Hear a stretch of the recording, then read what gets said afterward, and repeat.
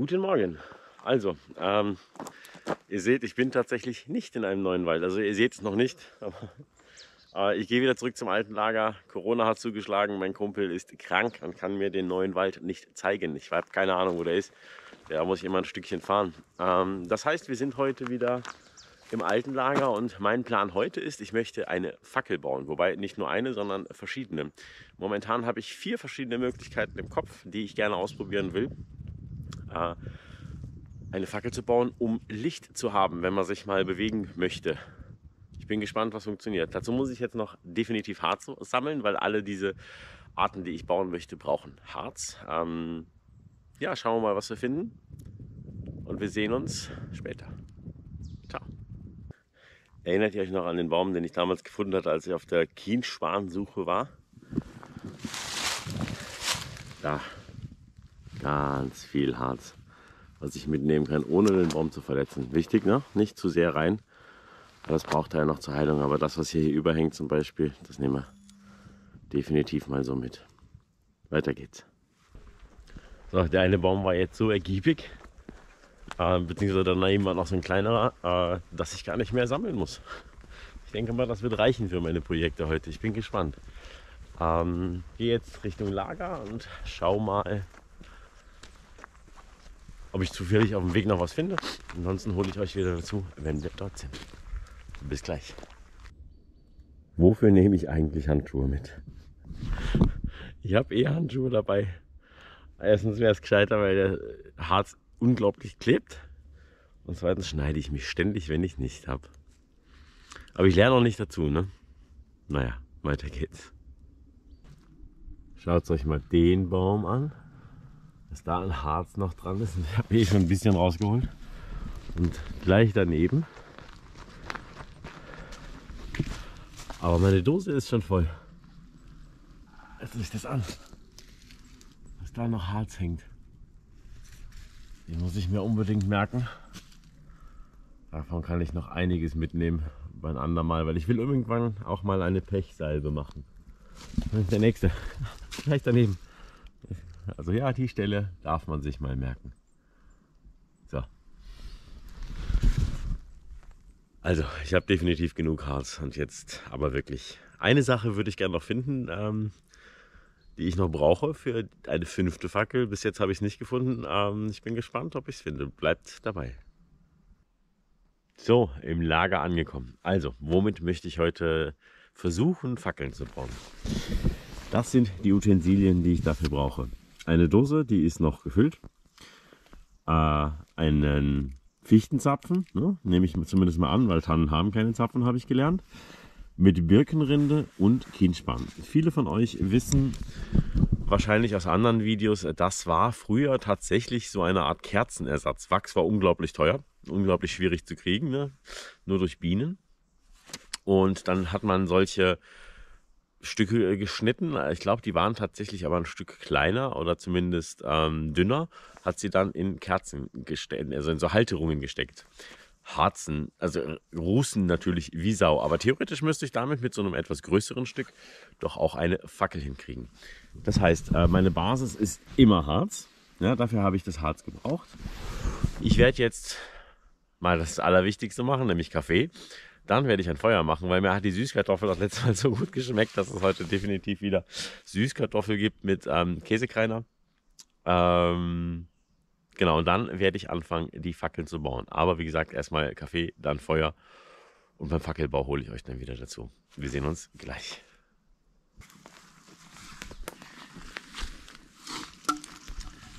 So, die erste Fackel, die ich probieren möchte, ist mit Birkenrinde und Harz. Dazu habe ich hier ein Stück Holz.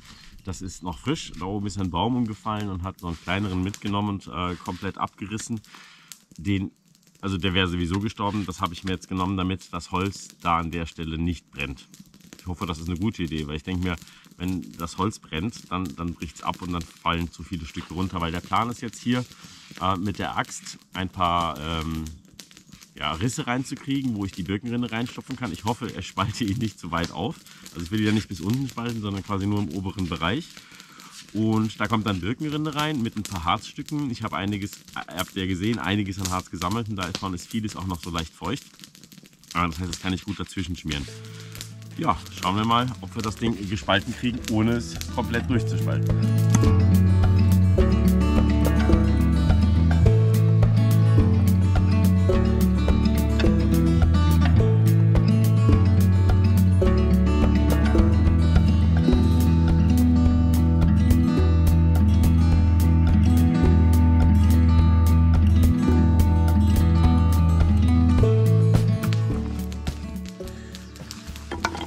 Ganze jetzt aus.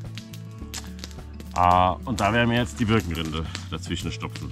Ging jetzt leichter und schneller als ich dachte. Hier oben haue ich vielleicht noch ein paar Keile rein, dann, damit ich die Birkenrinde gut reinstopfen kann und die Keile hole ich wieder raus. Ähm, gut, ich hole mal die Birkenrinde und dann hole ich euch wieder dazu. Bis gleich.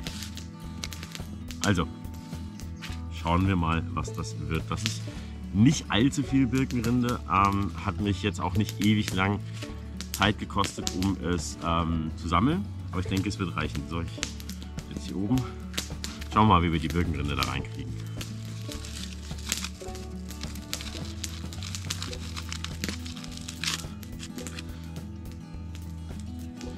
Ah, ich glaube, ich werde trotzdem da oben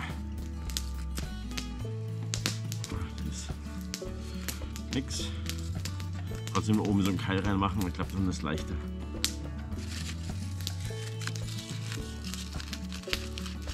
Oder wisst ihr was? Ich nehme das Harz und wickel das so ein bisschen ein. Hier so ein paar kleine Stücke, die lege ich da rein und schiebe das dann da rein. Ich bin wirklich gespannt, ob und wie gut das brennt. Also brennen wird es, davor habe ich das Birkrinde. Natürlich brennt das. Aber die Frage ist ja, wie lang?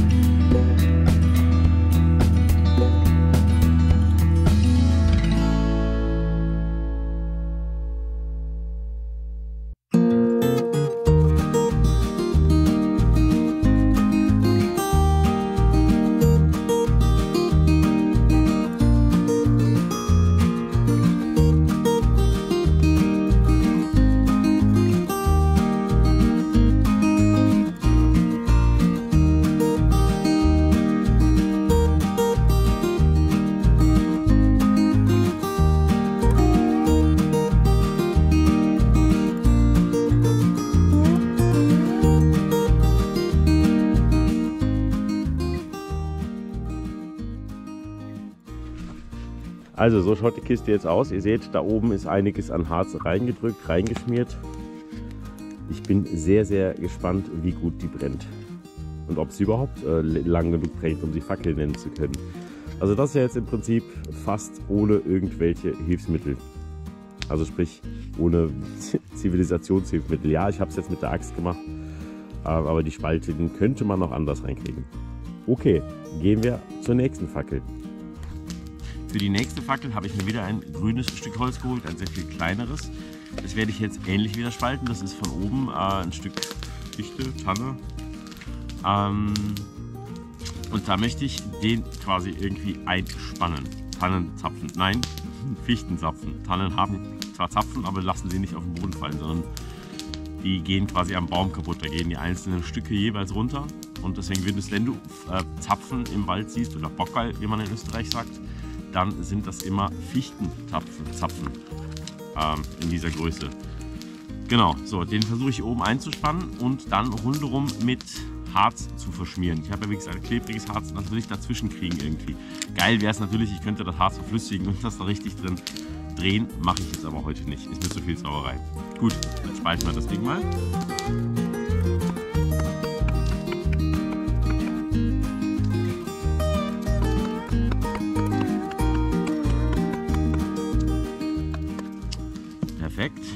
Schauen wir, dass wir den Zapfen da reinkriegen. Da soll man den vorher mit Harz verschmieren. Ja. Tun wir erstmal rein.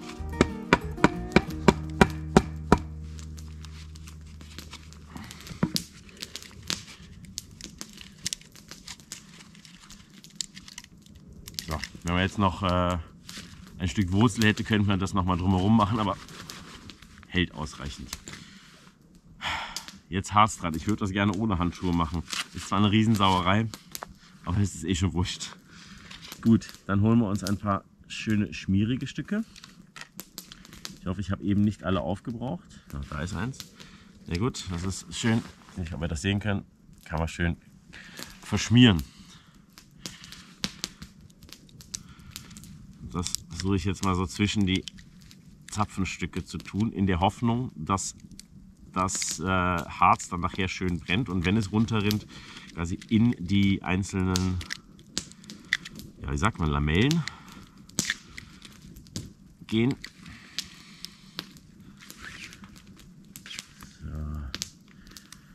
Schaut schon ganz gut aus. Ich bin gespannt, wie schnell das dann nachher brennt und vor allen Dingen, wie lange es brennt. Das Stück nehmen wir noch.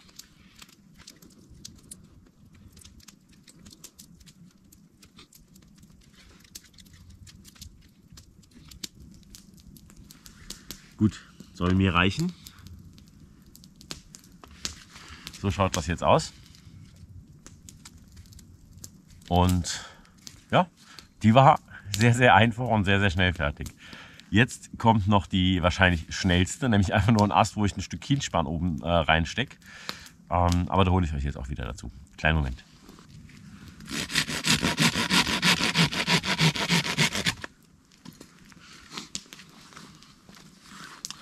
Das ist das Stück Kienspan, was ich verwenden möchte. Das ist das, das ja, der Ast, den ich verwenden möchte. Den spalte ich jetzt auch wieder nur ganz, ganz leicht, damit ich einfach das Stück Kienspann da oben reinstecken kann.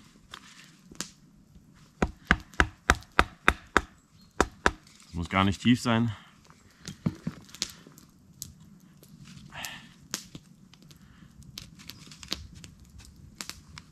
So. Hält auch. Und mal schauen, ob das funktioniert. Das war noch einfacher.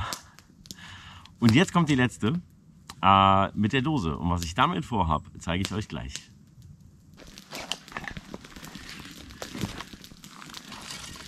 So, was möchte ich jetzt als nächstes mit der Dose machen? Äh, und warum schaut die Dose plötzlich so aus? ich habe sie ins Feuer getan, damit da ja keine Feuchtigkeit mehr drin ist. Und äh, ja, war wohl zu heiß. Macht aber nichts, ist gerade noch mal gut gegangen. Ich möchte jetzt hier unten äh, abschneiden, dass ich quasi so eine kleine Ta Metalltasse habe. Die Metalltasse möchte ich dann wieder einspannen in ein Stück Holz, ähnlich wie ich das mit Zapfen und auch dem Kienspann gemacht habe und da einfach nur Harz reinlegen. Äh, Harz reinlegen und anzünden. Äh, die Tasse ist quasi dafür da, damit ähm, das Harz, was sich verflüssigt, nicht runtertropft. Und ja, im Prinzip ist es eine Art Kerze, Petroleumbrenner, nur eben mit Harz. Mal schauen, ob es funktioniert. Das Messer wird mir jetzt danken, dass ich damit Metall schneide. Aber da muss es jetzt durch.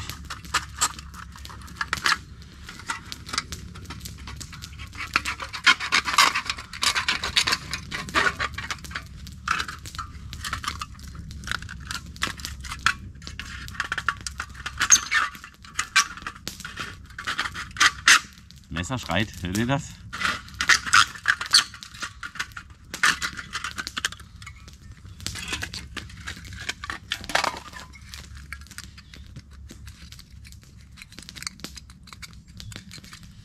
So, schaut das Ganze jetzt aus. Ein Stück Holz brauchen wir noch wieder zum Einspannen. Dann nehmen wir noch den Rest, den ich hier liegen habe. Schneiden wir uns ein Stück runter. Und spalten es auf.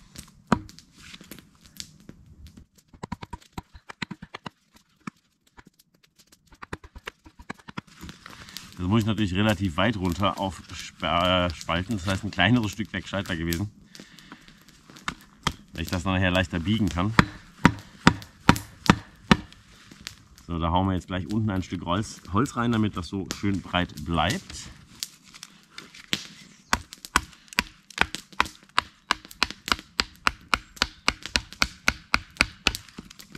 Aufpassen, dass es nicht bis unten durchreißt, wie gesagt.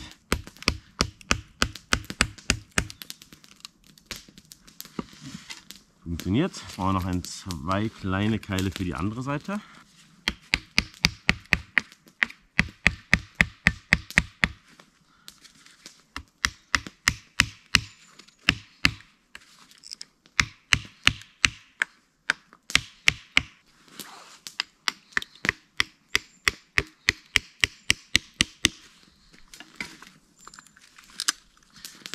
So, und das jetzt da reinfriemeln.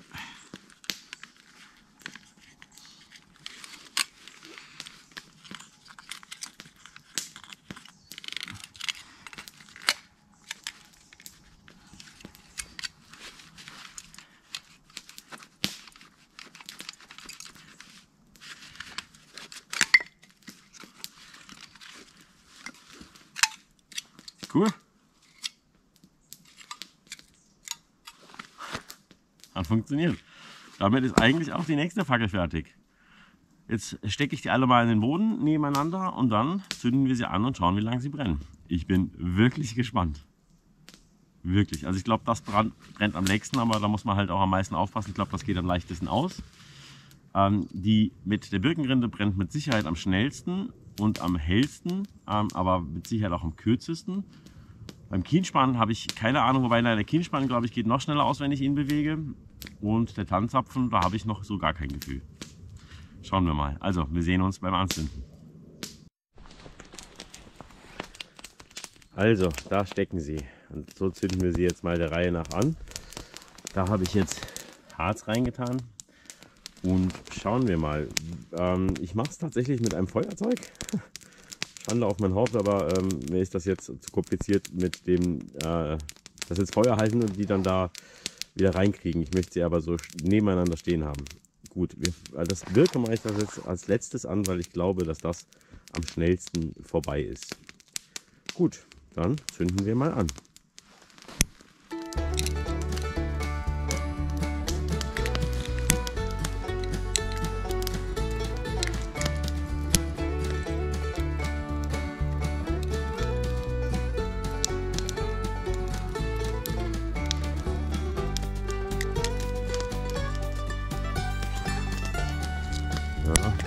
Brennt zwar, aber es geht wieder aus.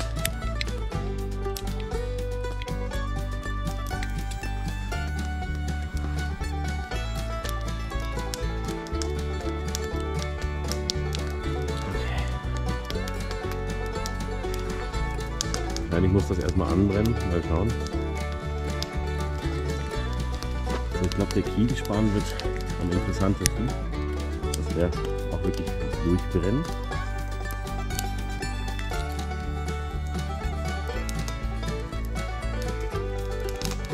Bei dem wäre es gut, man würde ihn erstmal nach unten halten.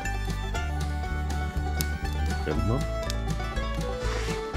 Brennt auch noch. Also man muss dazu sagen, es geht heute auch fast kein Wind. Ich glaube, den, den muss ich nochmal rausnehmen und nach unten halten.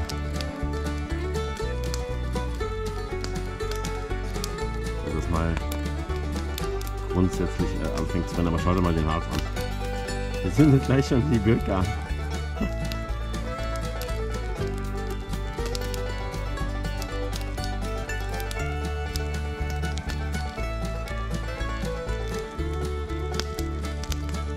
Was, den Kienspann hatte ich tatsächlich mal ins Feuer. Ordentlich mal anbrennt.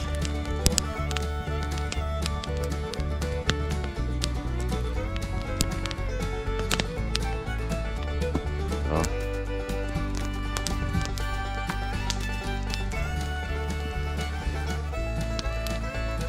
Den nur zu bringen, stehen zu bleiben. Ah, halten, halten. Als nächstes die Geschichte hier. Und da ist ja der, das Harz recht nass. Bin ich gespannt, ob das funktioniert. Ohne mir die Finger zu brennen, am, verbrennen am besten.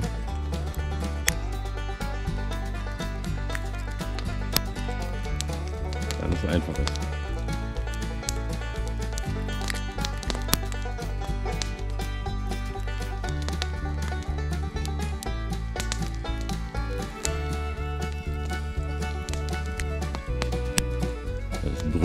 Harz schon. Seht ihr das?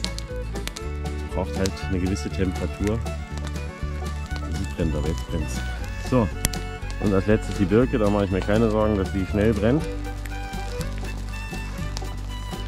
Harz, mega gut. Teamsparen auch. Oh, das klappt gut. Aber ja, das habe ich befürchtet. Also das, wenn man das in der Hand hält, muss man gut vom Körper weghalten. Gut, schauen wir mal, wie lange alles brennt. los geht's.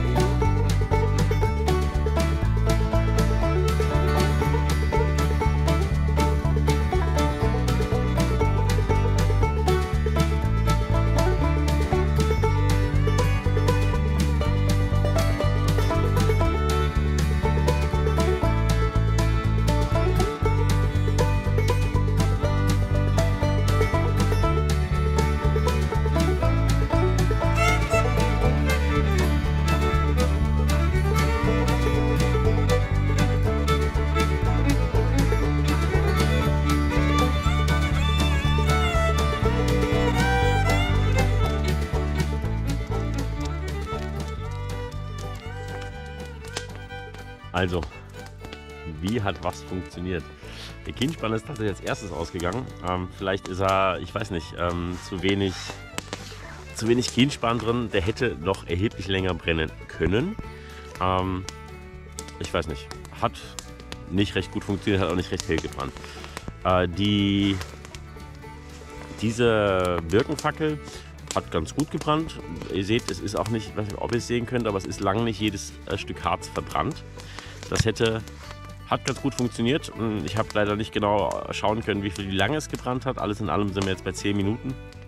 Ähm, aber hat einigermaßen funktioniert. Am fackeligsten fand ich tatsächlich die Geschichte mit ähm, der, dem Tannenzapfen. Wenn ich da jetzt noch mehr äh, Harz reingetan hätte und sie vielleicht ein bisschen ähm, weiter oben reingetan hätte, also nicht so, nicht so tief rein. Ich, ach, das brennt noch. Ähm, Glaube ich, also das war am fackeligsten. Mit der hätte ich wunderbar auch rumlaufen können. Ihr habt gesehen, es war auch ein bisschen Wind, also die hat gut funktioniert. Noch immer brennt tatsächlich das Ding mit dem Harz. Ähm, klar, da ist wahrscheinlich auch am meisten Harz drin. Es brennt dafür aber auch nicht sehr hell. Ich weiß nicht, recht gut rumlaufen kann man damit, glaube ich, nicht. Man muss es halt sehr gerade halten. Generell, wenn ihr, oh, dieser schwarze Rauch, generell, wenn ihr die, die Fackeln äh, unterwegs dabei habt, natürlich immer vom Körper weghalten, weil es tropft das runter. Ihr habt es, glaube ich, einmal gesehen. Da ist ein Stück von dem Birkenfackel runtergetropft und ähm, am Boden weitergebrannt, weil da noch Harz drin war. Das hat relativ lang gebrannt, sicherlich ein, zwei Minuten. Also da muss man höllisch aufpassen. Das mit der, mit der Dose, das kann man glaube ich gut stationär irgendwo hinstellen. Das brennt sicher noch eine ganze Weile. Ich äh, werde auf die Uhr schauen, wie lange es noch brennt.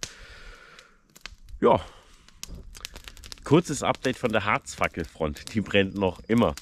Äh, seit einer halben Stunde jetzt. Zugegeben, ich habe hier und da äh, Harz nachgelegt, also hier und da zweimal bis jetzt. Nicht, weil es ausgegangen wäre, weil ich mir dachte, ey, eigentlich ist das doch eine coole Sache, du kannst ja immer wieder Harz nachlegen, ja, und das funktioniert tatsächlich sehr gut. Es brennt nach wie vor nicht sehr hell und lichterloh, aber es brennt. Und ich weiß nicht, ob ihr das sehen könnt. Ich versuche mal näher ranzugehen. Da unten hat sich so ein richtiger Harzsee gebildet, der so gemütlich vor sich hin brennt. Interessant wäre, was ist, wenn ich da jetzt irgendwie noch ein saugendes Material, vielleicht ein Stück Holz rein tue. Aber ich lasse es so. Ich lasse es brennen. Ich werde immer wieder Harz nachlegen, einfach um zu gucken, ähm, ob das vielleicht sogar die ganze Zeit brennt, solange ich hier bin. Bis später. Drei Stunden. Drei Stunden brennt die Kiste jetzt. Und äh, ich werde mich jetzt aber langsam auf den Heimweg machen. Und ich müsste es tatsächlich ausmachen. Ähm, ich glaube nicht, dass das aufhört zu brennen, wenn ich ihn immer weiter nachlege. Also geile Sache. Und ich glaube, dass man damit theoretisch genauso gut auch Wasser, also das als Kocher verwenden könnte. Coole Sache. Und ich habe mir nachher gedacht, was auch eine geniale Sache wäre, ist, wenn man das irgendwie im Feuer heiß macht. Ganz viel äh, von dem Harz und flüssig macht und das dann über den Tannenzapfen gießt. Und den so richtig schön ähm, tränkt. Ich habe ganz, ganz bewusst keine, keinen Stoff genommen, weil ich halt nur Dinge nehmen wollte, die man so in der Natur findet. Und ja, leider findet man Dosen äh, auch in der Natur. Ähm, auch wenn man sie nicht dort finden sollte. Was ich jetzt aber noch am Ende probieren möchte, ist, was passiert, wenn ich das hier, also ihr seht, ich kann damit auch rumlaufen, ins Feuer gieße. Da bin ich jetzt sehr gespannt. Ich meine, ich denke nicht, dass das jetzt so hoch geht wie äh, Spiritus oder ähnliches, aber ich glaube, dass das schon schön brennt. Also probieren wir es mal aus. Mist, der Bad. Und es brennt noch immer. Und es wird jetzt nicht lange so brennen, aber ja, das Feuer brennt richtig schwarz.